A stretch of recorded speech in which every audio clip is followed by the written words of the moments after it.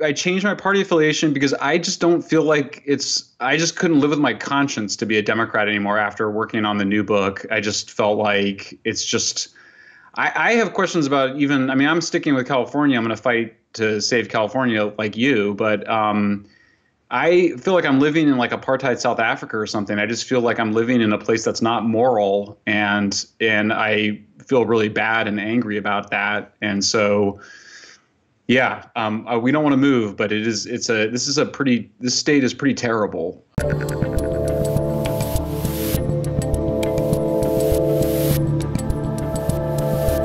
I'm Dave Rubin, and joining me today is the president of Environmental Progress and author of the new book, San Fransicko: Why Progressives Ruin Cities. Michael Shellenberger, welcome back to the Rubin Report.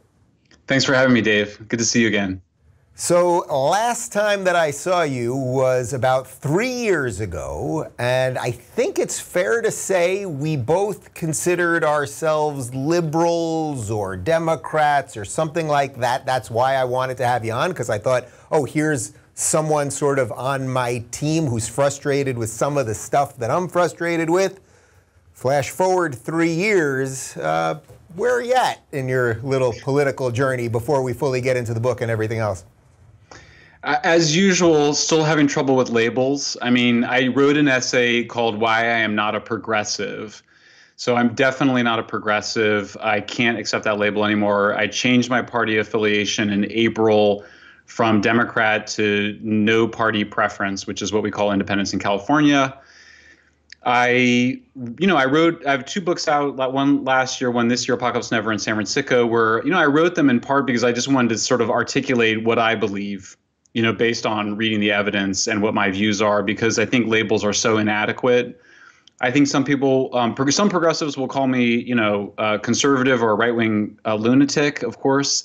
Um, you know, uh, I some a lot of people I think call me a moderate. The Huffington Post uh, quoted me as a moderate. Um, you know, as usual, as you won't be surprised to hear, I mean, there's some views I have that I think would be better categorized as liberal than conservative, and some views that would be better categorized as, as conservative. And I think there's some things that are just not easy to categorize. You know, I should note for the record that I actually still am registered as a Democrat in Cali, but it's a calculated move because I wanted to be able to vote in the primaries so that I could vote, for, believe it or not, for Biden in the primaries so that I could stop Bernie. So that, that uh-huh. tells you how that sort of tells you how politics has become so crazy and the system is so nuts that you stay in a party to vote against the guy you're trying to stop the most, you know? Yeah.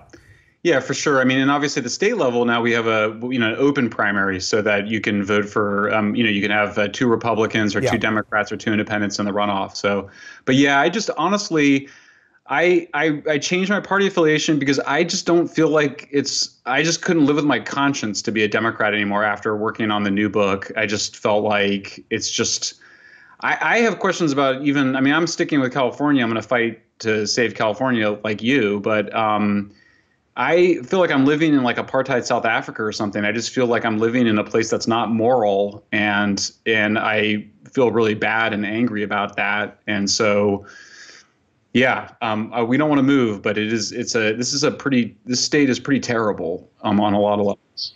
Yeah, let's let's sit with that for a little bit because, as you know, I fought really, really hard for this recall. I basically was campaigning with Larry Elder. The results of this thing were a disaster. Now Newsom has, you know, codified mail-in ballots basically forever. We have one-party rule. Nothing's working, which is so much of what your new book's about. Yeah. Do you have any hope here? Like, I am really trouble. I'm just having trouble seeing the the hope. If I could see some hope, I'd be like, yeah, I could still stay and fight. But I just don't see that glimmer. I don't see that star in the distance anymore. Yeah, I mean, I it's dark right now, right? And that, but I think the darkness is also means that we just can't see things, and so we should be humble too about our own um, inability to to view what might be out there you know, I will say I think that the election heavily, if you believe the polling, I think it did heavily turn on the COVID response.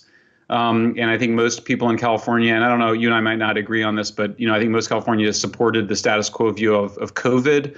I wrote, a, I tweeted something that I think now is overly pessimistic about how people voted for the status quo. I don't necessarily think that's true you know, we have polling data that also shows high levels, 75, 70, you know, 80% support for basically, I think the things, the common sense things that I think you and I will agree that we need to do about the open air drug scenes, what we euphemistically call homeless encampments.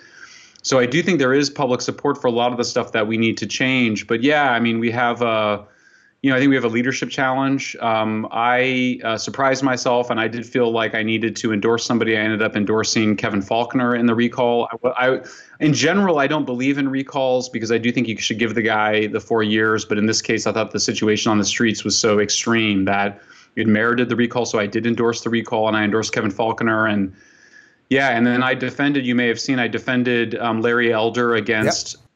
The unconscionable attacks by you know the racist Antifa woman, or I don't know if she's Antifa, so don't sue me, but the racist woman in a gorilla mask yep, um, yep. throwing an egg at him, and just the unconscionable uh, media coverage by the LA Times in particular, but really all the state media, you know, clearly, you know, inappropriate. I mean, I, I, I sort of flabbergasted still by how terrible and biased the media coverage was, but yeah, I mean, I uh, with the book and certainly in a movement that we're building, we have a coalition of groups, including parents of kids killed by fentanyl, including parents whose kids are addicted to fentanyl and living on the streets and who want to get their kids off the street, including recovering addicts. Uh, we are advocating for a pretty sweeping set of reforms. So, um, but yeah, it's it was discouraging.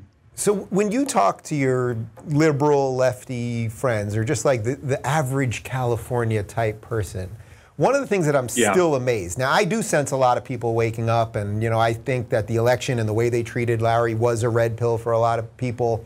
But still, obviously, the results were basically 70-30. So obviously, out of the voters, they're they're down with Newsom and whatever that means.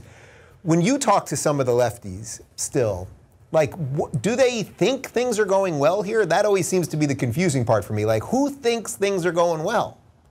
I know. I mean, you know, my most progressive friends are the guys I play soccer with, and they don't think it's okay. You know, they think it's a big problem.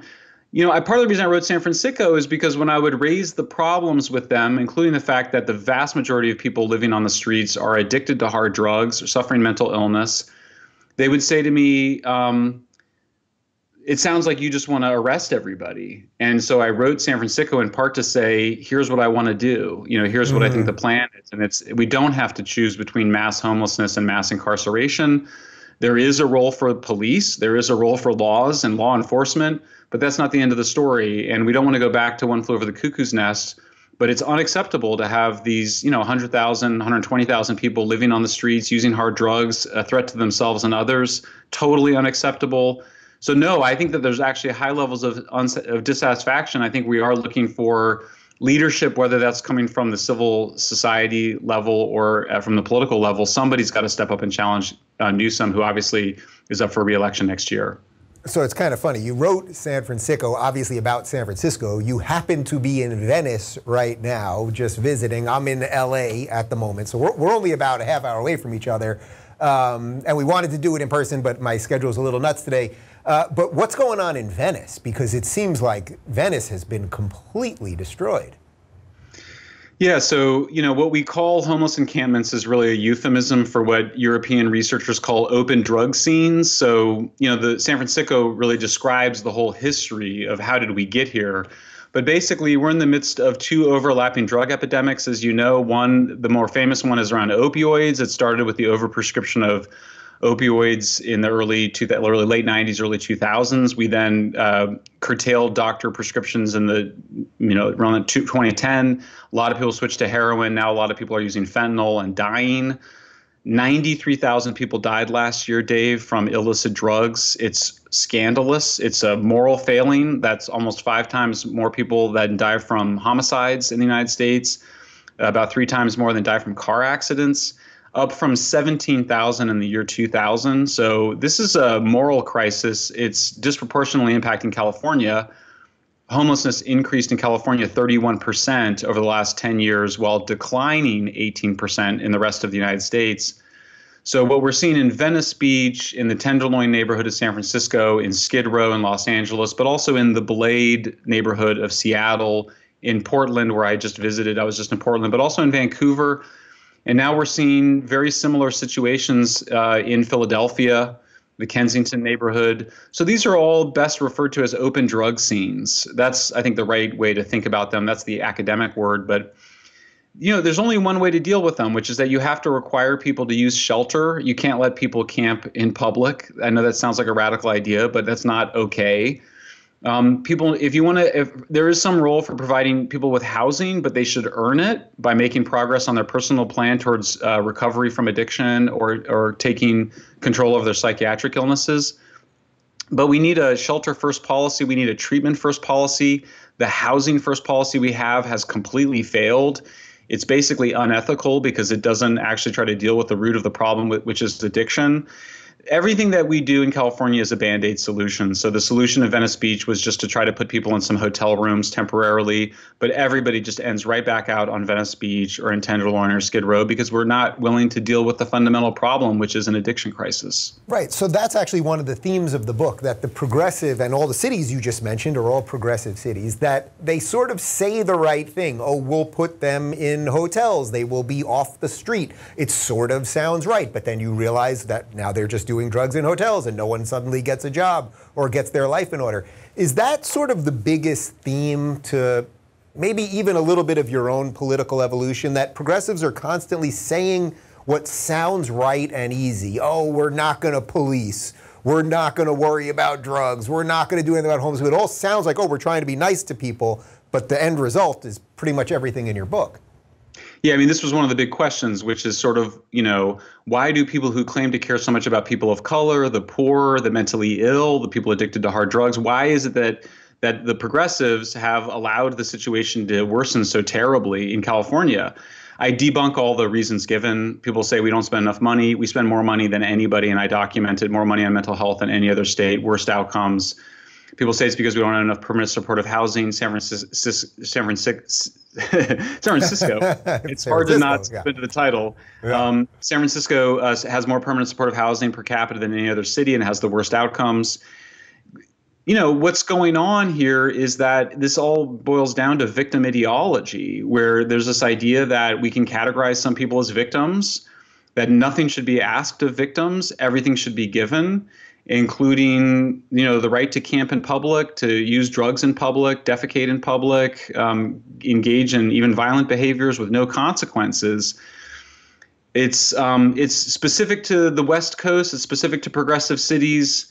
Um, but it is spreading around the country. And so, yeah, I mean, there's been various. I mean, one of the funniest things I interviewed progressives. I interviewed a lot of progressives for this book, by the way. Mm-hmm. So they're all in here. And I I have my own, you know, I worked for Maxine Waters to advocate for needle exchange in the early, in the late 90s.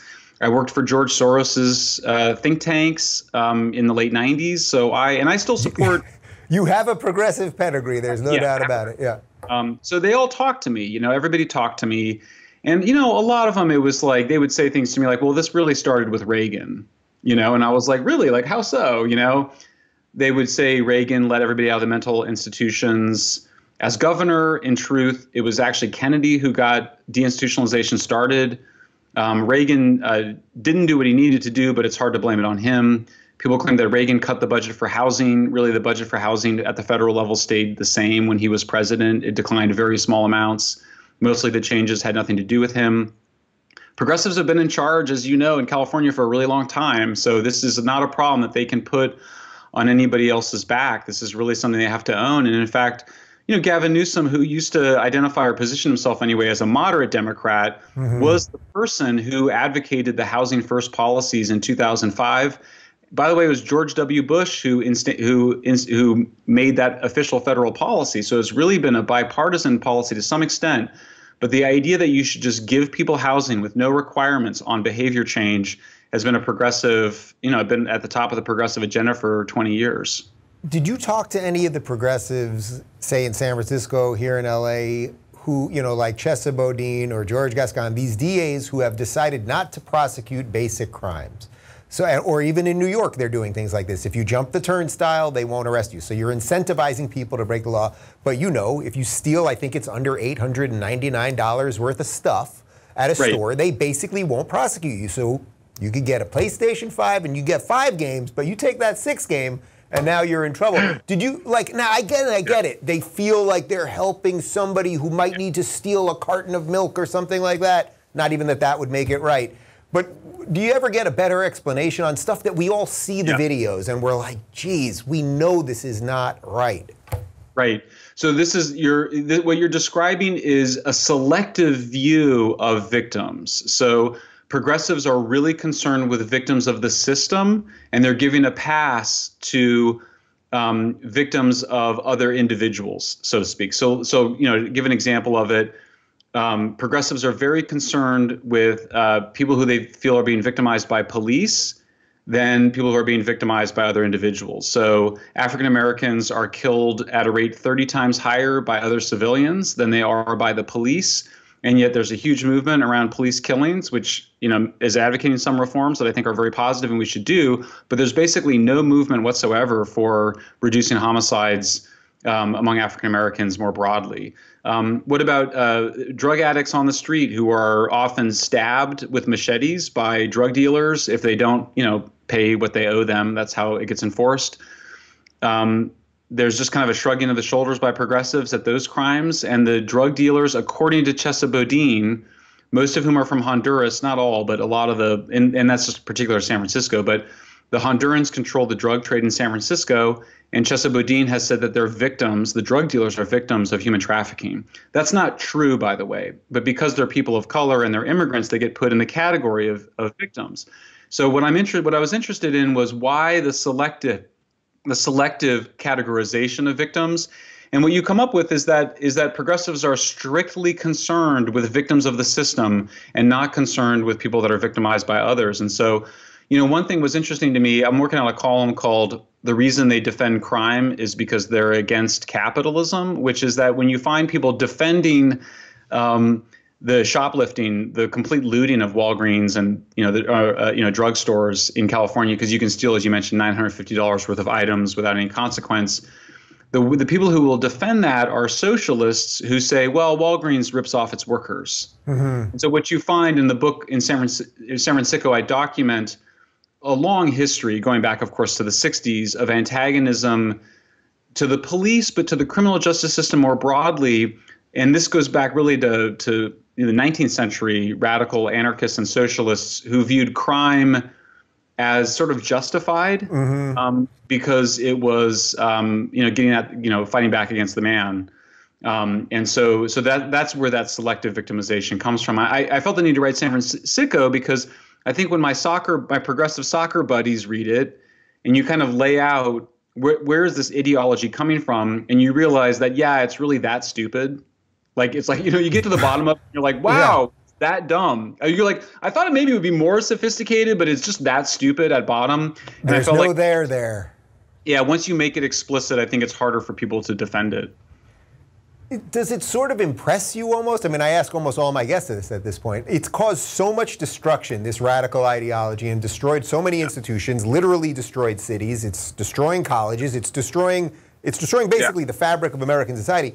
Do you somehow admire it in some weird, perverse way? I mean, even in the last couple days, we're, we're, holding this interview for a few days, but in the last couple days, you know, Kyrsten Sinema got chased into that bathroom at Arizona State University, and I saw an incredible amount of progressives and progressive news organizations defending her. Oh, yeah, you can get up in their face, which, by the way, is exactly what Maxine Waters has been on the record saying get in right. their face. That you almost admire their absolute relentless pursuit of destruction. Yeah, I mean, there's and there's a cunning to it. There's a cleverness to the manipulation of language in particular. I mean, just take a simple word like homelessness. I traced the you know genealogy of this word back. It's a propaganda word. Um, it's always been a propaganda word designed to mix together two ex- totally different groups of people. One is the proverbial mother escaping an abusive husband with her two kids who doesn't have anywhere to go that night, mixing her together with people suffering from schizophrenia mm-hmm. who are on the streets, often addicted to hard drugs, or people that are just addicted to hard drugs, mixing those populations together deliberately, confusing two groups of people who require completely different things. And by the way, we do a pretty good job taking care of the mom escaping the abusive husband. She needs something different than someone with schizophrenia. and that person with schizophrenia needs something different than someone who's just addicted to heroin. But the word homelessness suggests that the only response should be a charitable response when sometimes you do need to involve law enforcement to either uh, make make sure the laws are enforced um, and also to compel treatment because it's not compassionate to let people die from drug overdose on the street. They should uh, they you know look I don't want to if someone wants to kill themselves in the privacy of their own home fine but we don't allow people to kill themselves on the street. That's not uh, that's not something that's consistent with a civilized society. So yeah, I sort of I can admire the cunning, the manipulation, but there's just something really sociopathic about all of it. I mean, there's a there's a view I heard a lot of people say things like our unhoused population, and it just gave me the creeps, dude. Mm-hmm. Like it was just like they're not your population. Like they're not they're not objects for you to control. These are often people that you're contributing in their victimization out of some hatred of the system. So yeah, I, it's scary, dude. Um, I remember. I, mean, I, I remember when I was a lefty and they would always say fam, like we're fam, and I hated it because it was like, you're not my family. Like, we may be friends or a group and we all kind of have common cause in some of this stuff but like you also hate family. Like they hate the family structure but we're fam because we have some like ideological cohesion or something like that. There's a lot of that forced they call it forced teaming you know that sort of sense. Of overall conforming. It's also a lot of menace there. If you don't conform you'll be ostracized and stigmatized and all the rest. So as you talk about this stuff and as you write this stuff and go through whatever your own political evolution is. Um, you know, you're having a similar experience to what happened with me, which is your, I sense you're finding that people on the right generally aren't that bad. You know, uh, you've done some stuff with, with PragerU, you know, scary Dennis Prager, uh, and I think you've had conversations with Ben Shapiro and a couple other people. Um, how's that been for you? And have there been red lines with those guys that you've said something that was so outlandish, so crazily left that they didn't want to talk to you anymore or didn't want to air no. something or wanted to censor something or silence you, etc.?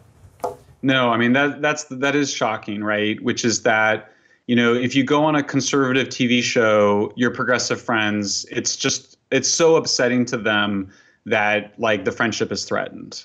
Whereas if you go on a liberal show, like nobody on the right seems to care, you know, and so it's clearly yeah you know, I mean, this is my second book. I'm writing a trilogy, and the books, you know, Apocalypse Never came out last year. San Fransicko is coming out next Tuesday. I've got a third book in the works, and these are books really about how these threats to civilization and the institutions that support civilization are coming from people in the grip of a religious fervor. There's this is a fanaticism, and it's it's what's at stake for you know for when you know like you kind of like so you go on a show with somebody you don't like like why would that threaten like a friendship you know why would that break up you know why would that be such a threat to somebody it's because they have so much of their identities riding on their political identity so much of yeah. themselves riding yeah. their political identity so that their people's politics have become their new gods new religions and so we're seeing you know it's interesting because when new religions form they are more fanatical and more apocalyptic than they become over time. They start more extreme. So what's scary is that this is a new, you know, is that this is a new religion that's asserting its control over the society. We have to push back against it. We have to expose how harmful it is. You know, part of the reason I wanted to write San Fransicko was it's not just the universities. You know that the, there's there's real victims of these policies. Um, Ninety three thousand deaths last year. I'm not going to say all of them are due to these policies, but we went from 17,000 20 years ago to 93,000 last year. That's a lot of dead bodies. What's a uh, say a non-progressive city that's kind of doing this stuff right? Like I've bounced around the country. I'm sure you have. I went to Salt Lake City. It was pretty freaking clean. Everybody was decent. I didn't see homeless people. I didn't see people doing drugs on the street. I was in New York City last week. I have to say it was more open than I thought it was going to be, which was nice but there were cops on basically every single corner. Almost every corner was barricaded, and there were a ton. I mean, around mid midtown, a ton of people on drugs and people just laying in the streets. Yeah, New York has gotten worse for sure. Um, though, really, when you say which cities have done it better than progressive West Coast cities, the answer is all of them. Basically, you know, New York shelters 99, or at least it did until the pandemic. It sheltered 99% of all of its homeless. You know, we shelter about a third in California, and it's very simple. Um, if you you have to build enough shelters, um, the progressive homeless advocates put it in in quotes, have denied funding for the shelters. They've taken money away from building sufficient shelter space and put it into this really expensive, you know, seven hundred thousand dollar to million dollar apartment unit housing, which is grossly insufficient. Miami has done a pretty good job um, in terms of dealing with this population. New York did better. Um, I really look at Amsterdam in the book as my model because it's such a progressive city. It's such a liberal city. It's hard to be against it. You know, their sex work is basically legal. You can smoke marijuana and go to the Van Gogh exhibit. You know, it's a very progressive city, but yet there aren't big homeless encampments. And when you talk to them about how they dealt with it, it was always social workers and police working together. So it's not like there's any mystery in terms of how you solve the problem. It's more like why won't we do it? And I think that's where I get to it's really about victim ideology. Right. So how do we get the lefties out of this a little bit? You're talking about sort of the religious fervor, sort of a you know that the ideas are sort of antithetical to what is actually working. Have you figured out a way to make any headway with them? They generally, at least from where I'm at, seem to double down when things don't work. Oh, yeah. it didn't work not because of what we did, but because of those guys, sort of like your Reagan answer from before. Have you figured out any tricks in this little period that you've been doing this? Well, I don't know if it's a trick, but I do think you have to we have to have a proper solution to the addiction and psychiatric crisis, which is really what is driving what we call homelessness in and this is not to deal with crime, which is a separate issue we could we could talk about, or at least not with homicide. But so we've come up in the book. I proposed something called Cal Psych, which would be um, basically taking over from the counties, which can't deal with this problem because you know street addicts are an incredibly transient population. They move from city to city, often to escape law enforcement or just because things go bad. We need a single agency to deal with this it needs to be a psychiatric and mental health response, um, an addiction response. It also would allow us to have drug treatment facilities in places like Fresno. If you're if you're addicted and, and breaking the law in Venice Beach and you get arrested and offered to either go to jail or prison or to go get drug treatment, then you, you don't there's no reason you need to be in Venice Beach where real estate values are really high and expensive. It's hard to build something. You can go to Fresno and do it. So when my progressive friends say, "What do you want to do?" I say, "I want to do this thing called Cal Psych." Um, you know, if anybody should have a problem with it, it should be conservatives. It should be libertarians. Uh, I spend the last, the very last few chapters of San Fransicko interviewing the leading conservative thinkers on this proposal, and they all support it. So Chris Rufo, mm-hmm. who's famous for critical race theory, before that he was a, a really important researcher on homelessness and drugs. He is on board with this. I interview a top scholar at Manhattan Institute, which is an important center right think tank. They're on board with this. Um, you know, Republicans have sort of privately acknowledged that the state needed to take over psychiatric and addiction care, but it hasn't been something that has been at the center of their agenda. So my hope is that some center right candidate, and by the way, it could be a Democrat, independent, or Republican, doesn't have to be a Republican, um, will pick up Cal Psych and run with it. And we made some headway with Kevin Faulconer in the in the um, in the recall. He certainly, I think, over time started to understand why you need to have a single state uh, provide this service. But I do think that would be game changing because I think that starts to look a lot closer to you know psychiatry for all, universal psychiatry, which is something that progressives should embrace. And then the only thing that comes along with it is that you know if you're going to have psychiatry for all, you can't just go and do your hard drugs in public. There need to be some consequences as well that's the when we put that together um, with polling, we find 70 to 80 percent support. In fact, we found stronger support among Democrats than Republicans because so many Republicans felt like that was already being a little bit too soft, you know, and that people should just go to jail. right, right. Was there was there any polling on how things changed over the last two years, not only because of lockdown, but also because of the riots? And you know, the riots were getting pretty damn close to my last house. I no longer live there. I'm not sure how much longer I'll live in this house. Like that that that changed. We know that California had its first net loss of population in the history of the state last year. Yeah, I haven't seen any change. I would be surprised if the basic attitudes change because I think the basic attitudes on this issue towards people with mental illness or people with drug addictions are formed from kind of pretty core liberal or conservative values, depending on how you think about things like human nature and society you know these issues of are you a victim of society or a victim of individuals tends to just be a kind of a core almost unconscious um, part of people's thinking But what I will say, I think, has changed is that it is now viewed as a threat to public um, order and public health, and that it's not just, you know, you see the encampments everywhere now. And so I think that's had a big impact in terms of increasing what pollsters call the salience of the issue. When you ask, well, what's the most important issue facing California, what they say is COVID, and then that's number one. And then number two, they say homelessness. And COVID's going to, you know, that's going to go away or it's going to be dealt with. So I would say, you know, if I were advising someone to challenge Gavin Newsom, I would say you probably just want to agree with him on the COVID response. That might be hard for conservatives, but I would just agree with him on the COVID response and just challenge him on the homelessness issue because honestly, you could implement much of what he has promised to do and hasn't done. Um, you could promise to do that, and I think people would be on board with that because he's given good rhetoric to a lot of these things, but hasn't had the kind of software or um, courage to be able to to stand up against the ACLU and the radical left within the Democratic Party, somebody that I think embraced a a treatment first, shelter first approach along with Cal Psych, I think could make a lot of headway, particularly if they just kind of conceded the issue of COVID, which I just think most Californians um, agree with the status quo on.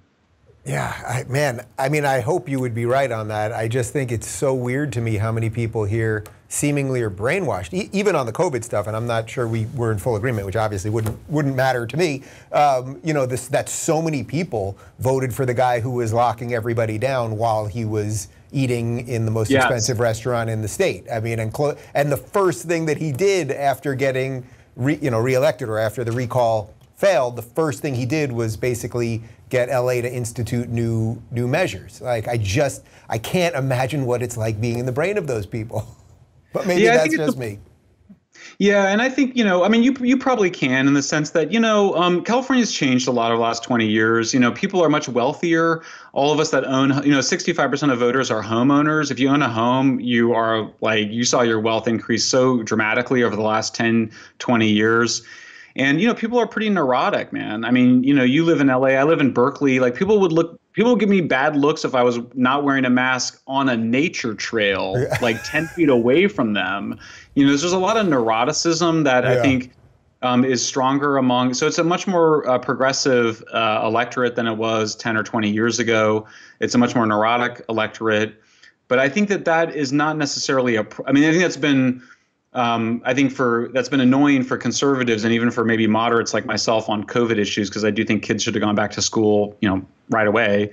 Um, but I do think that that neuroticism um, and the concern around public health and the concern around public order does favor change when it comes to dealing with the open drug scenes that we call homeless encampments. You mentioned um, sort of the religious fervor behind this earlier, and as you're talking about the neuroticism now, it seems to me that if you have this sort of secular idea on steroids, this you know government's going to do everything on steroids it leads to this sort of crazy neuroticism because government can't solve all of your problems and you're constantly looking to it as you would God or whatever it is that you believe in. I'm wondering if that tracks with where you're at sort of politically too, because I've seen a bunch of my liberal friends that are on a similar trajectory as me that now are either believers that weren't believers or are at least questioning or something along those lines. Oh, yeah, for sure. You know, and I think that, like, you know, I want to distinguish between the progressive activists who are bas- have the victim ideology and control policy to some extent, a large extent at the at the state level in terms of housing first, ACLU, those folks. I want to distinguish from them and you know say my hairdresser who voted for Bernie Sanders, who also is upset about the homeless situation, the open drug scenes. She's more in that 70 to 80 percent that I think would favor uh, a more balanced response of both carrots and sticks in terms of a shelter first, treatment first approach rather than a housing first approach. So I think the challenge again, I think it's a there is a leadership problem. I mean, you need to have somebody who can articulate that vision and explain it to people because you know when you get people in a conversation like a focus group rather than in like an you know if you're using type 2 thinking slow thinking rather than fast thinking i think people are more att- attentive to the need for a balance. That it's you shouldn't just be able to. You, we still have a very deep reciprocity, you know, motivation, which is that if you give somebody something, you should expect something in return.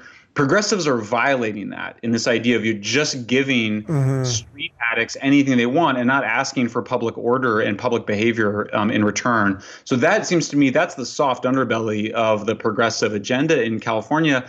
Honestly, I think it's the soft underbelly of Democrats nationwide. I think Republicans should be doing a lot more with it, which is that you know, here this big package, this big budget package is going to give what a couple more years of college education, some child care credits, but what's it doing about like the most important cause of death, uh, accidental cause of death? I mean, here the FDA finally issued a one pill can kill advisory, but I mean, like we're seeing, you know, kids are kids who experiment with thinking they're taking a half a Percocet, buying it from a dealer on Snapchat, are dying in their bedrooms, being found by their parents. I mean, this is Michael K. Williams, the great actor from The Wire, who died from fentanyl poisoning. Prince, Tom Petty. I mean, you know, fentanyl changes everything in terms of this is not just an addiction problem. We're now dealing with, with active poisoning, and Democrats are just not to be found anywhere in dealing with this. So I do think there is room for maneuver. I do think it's a dark moment right now, but there's so much chaos in the system. I think the last four years we've seen that that something is going to change. That the, that the system can't maintain its instability for for many more years. I think Republicans are moving in a lot of the issues that you and I I think probably had concerns with Republicans over 10 or 20 years ago are just not issues anymore. You know, um, I see the progress that's, you know, like one of the characters in my book um, is Harvey Milk, the gay rights leader. Um, I asked my my publisher, I was like, "Am I conservative readers going to have a problem with Harvey Milk?" And he was like, "No. I mean, it's like that issue's gone." So a lot of the social issues seem to be taking moving to the background, and we see new issues coming to the forefront that I do think open up possibilities for some challenge to progressive orthodoxy. You know, it's interesting, as you were mentioning that, I, I may have told you this story three years ago, but when I had interviewed David Horowitz the first time, and David Horowitz was sort of the original Why I Left the Left guy, he told right. a story about how, you know, he was a Marxist his whole life, a leftist, his parents were communists, and then in 1984 he liked Reagan during the re-election, so he says, you know, basically I'm leaving the left. And then he told me this story about how in New York, at the peak of the AIDS crisis, that all of the public health officials, who basically they were lefties, it was run by mostly Democrats, that they all knew that it was emanating from the gay bathhouses. Like they just knew people were doing drugs there, they were having unprotected sex, and they knew it was all coming from there. And they knew that all of these people, young people, were dying every day, hundreds and thousands were dying and that the conservatives, who had really no power, the Republicans in New York City, came in and said, well, okay, we got to close the bathhouses. That's how we have to do something here. And it was the Democrats who said no because they didn't want to infringe on you know on those people's lifestyle to be thought and they called the they called them homophobes basically anyway i'm just reminded of that because it's so consistent with everything that you're saying yes. here yeah, because they were because they were the victimization or the spread the, the spread of HIV/AIDS was occurring at the individual level rather than something being imposed by the system. Mm-hmm. And so, yeah, I think that you have to remember progressives start from the point of view that the system is evil, you know, and it's basically a Rousseauian idea that the individual is innocent and good, and that the society is what's corrupting.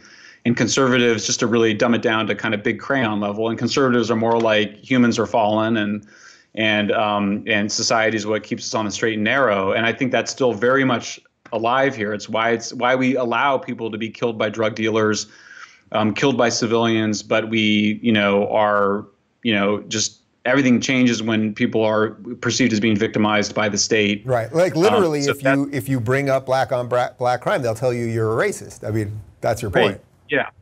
Yeah, and I mean, here's the interesting thing, and I, I find I, I, I was I'm interested in hearing your view of it too. I mean, to declare all black people victims, that's totally racist.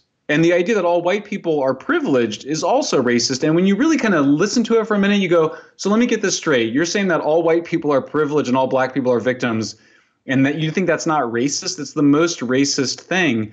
Victimology is actually bigger than that, of course. It encompasses that kind of racism, but it also suggests that a whole set of other people are basically that people are powerless. You know, that people that you put in the category of victims are powerless, and therefore, and then one of the consequences, of course, is it is that we shouldn't do anything to prevent them from being victimized, because doing so would only exacerbate the victimization.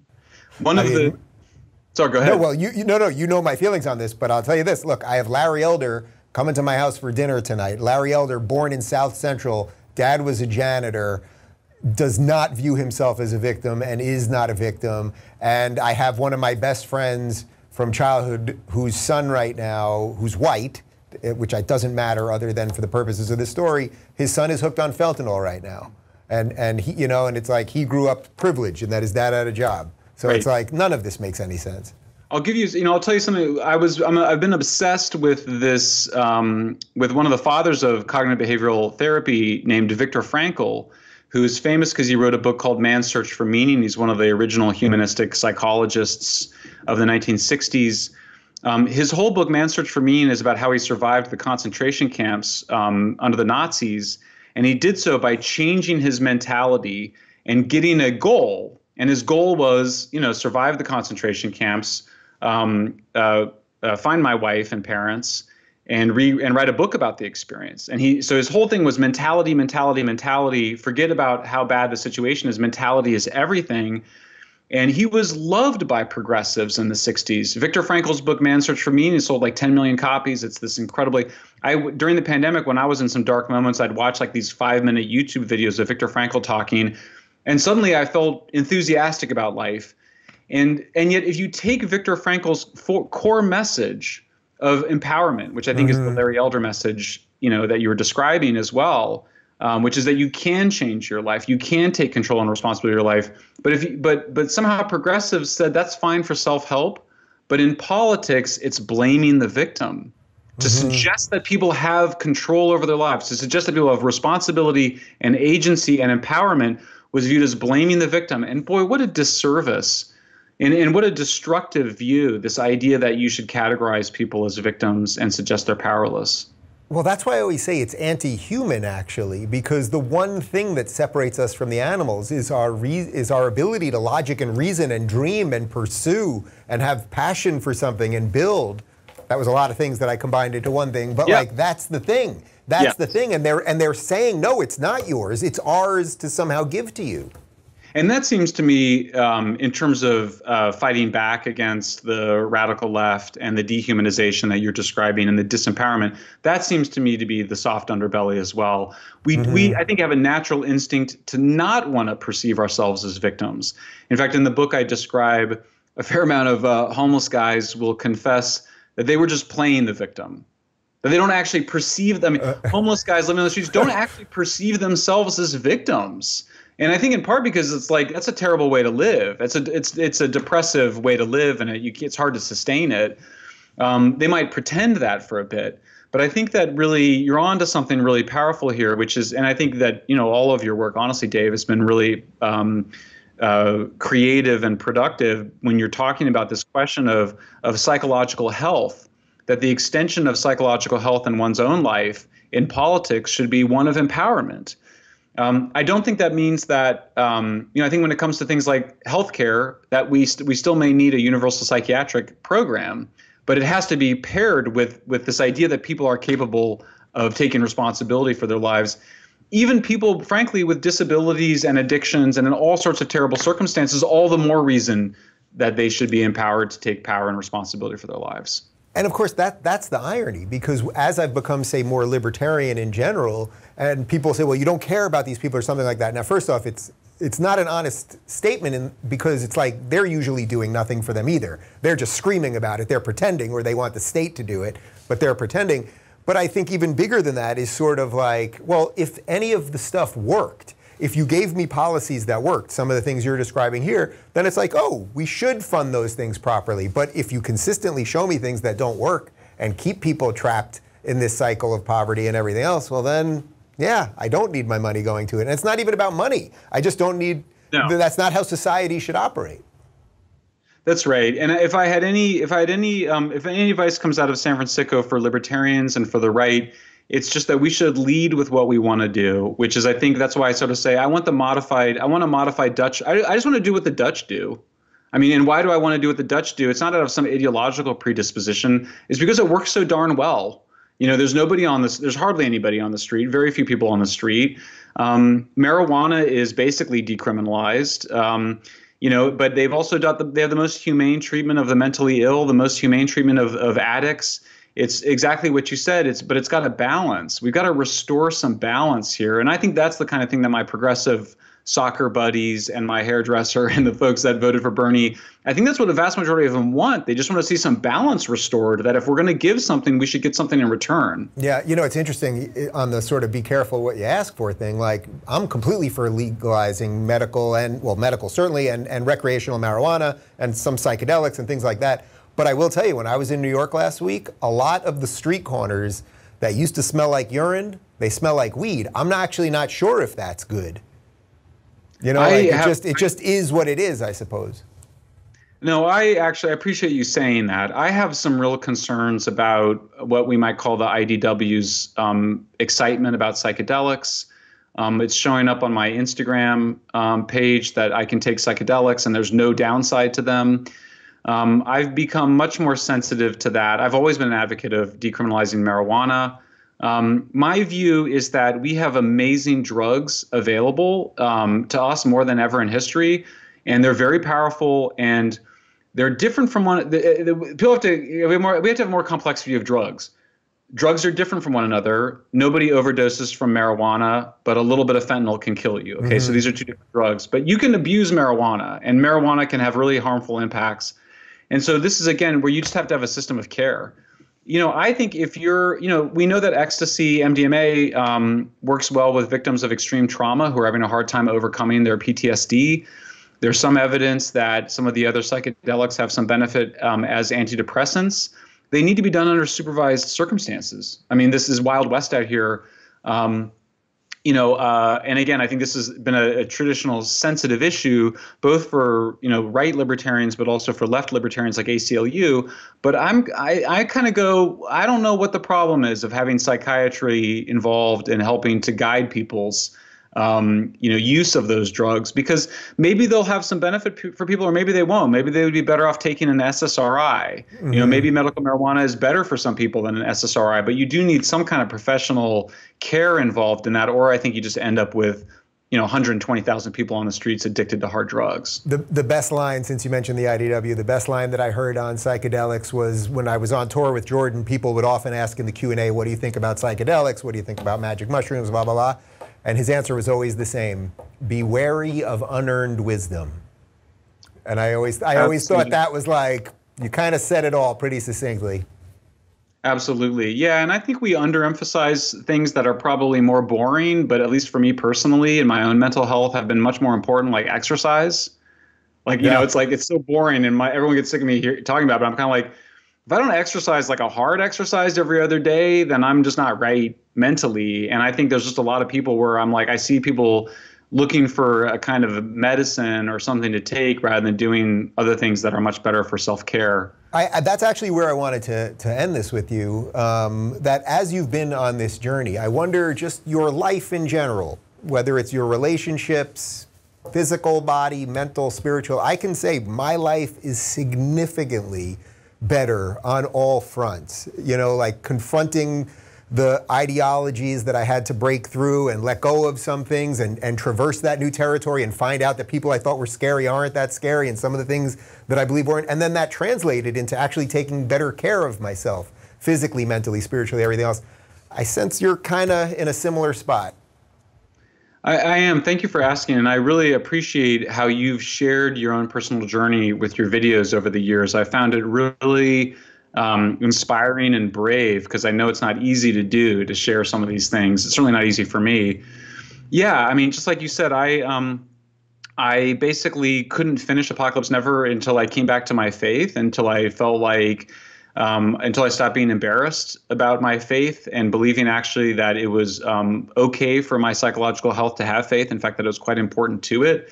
I also stopped drinking three years ago, um, um, almost exactly, and it was one of the best decisions I ever made uh, for my life. And it was, um, you know, I, I I think about how to talk about it, and I I, I didn't. In the end, I decided not to write about that in San Fransicko, which is nice that you ask about it because I felt like I didn't want to compare my situation to something of people on the street because that's a really different situation. But it did make my life better, and it was what I needed to do because I wasn't able to get control of my drinking in a moderate way. So, and for sure, um, you know, all the things that you hear really matter um, uh, family, faith, sobriety, and then I would just add exercise, um, have, have been really important for me um, in dealing with tough times. Crazy right wing stuff, huh? Mike, it was I'm good sure seeing you. We, we will do this in person next time, I promise. And uh, good luck with the book. We're going to link to it down below. And I'll talk to you soon. It's great to see you again. Thanks, Dave.